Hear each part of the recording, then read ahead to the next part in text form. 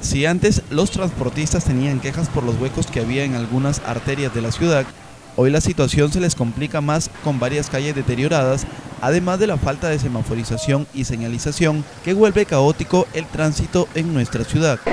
Eh, a, corto plazo, a plazo inmediato, eh, de repente debería destinarse un presupuesto eh, para que constantemente ¿no? la Municipalidad Provincial de Piura esté revisando los semáforos, eh, que están mal ubicados, que están de repente con los focos quemados y solucionar los problemas lo más pronto posible, ¿no? de manera inmediata.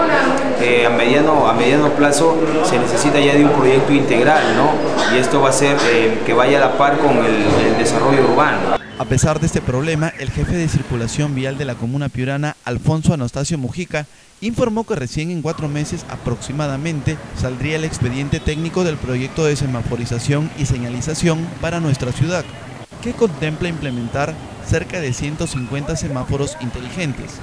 ¿Cuántos semáforos estaríamos hablando que van a implementar? Un promedio de, 150 semáforos, ¿no?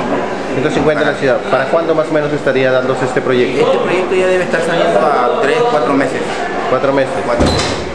Ya, ¿de cuánto costará este, la inversión para...? Bueno, eso ya es eh, un convenio institucional entre municipalidad y caja municipal. el dirigente de taxis dispersos señaló que se debe realizar un proyecto integral que vaya de la mano con el desarrollo urbano de señalización y semaforización. Nosotros como transportistas pedimos semáforo inteligente.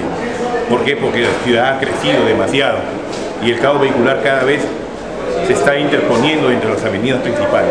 Por eso necesitamos un, un ¿cómo se llama? Semáforo inteligente, más no lo que se viene, digamos, y programarlo, digamos, a la realidad de cada avenida.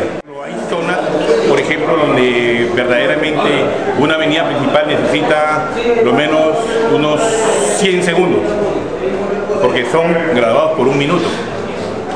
¿no? que son 60, 60, 60 segundos. Entonces pedimos 100 para que se le dé, o sea, más, más viabilidad a esa avenida.